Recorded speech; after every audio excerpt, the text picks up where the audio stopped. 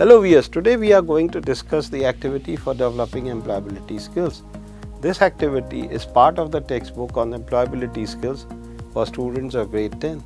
In this video, we will cover the first activity of session 3 that is on computer care and maintenance for the unit 3 on information and communication technology skills.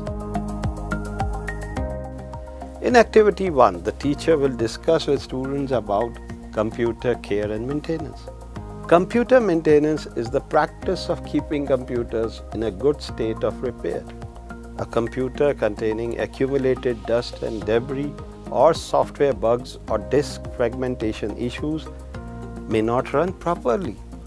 Therefore, computer maintenance focuses on keeping your computers and laptops in good condition through regular cleaning, hard drive updates and virus prevention. Regular maintenance ensures that your computer system is up to date and working properly. In activity 1, the teacher has to form groups of at least 3 students in the classroom.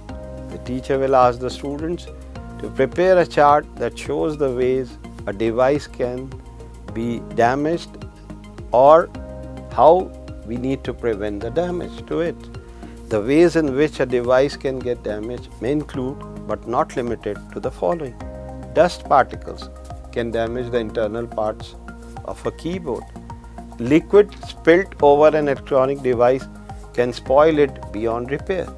Dropping or banging the device against a hard surface, overheating the device. The ways to prevent the device from these damages may include but not limited to the following. Clean a keyboard with a soft brush and using a vacuum cleaner. Avoid eating and keeping glasses of water or cups of coffee near the computer or the keyboard. Handle and move your device carefully.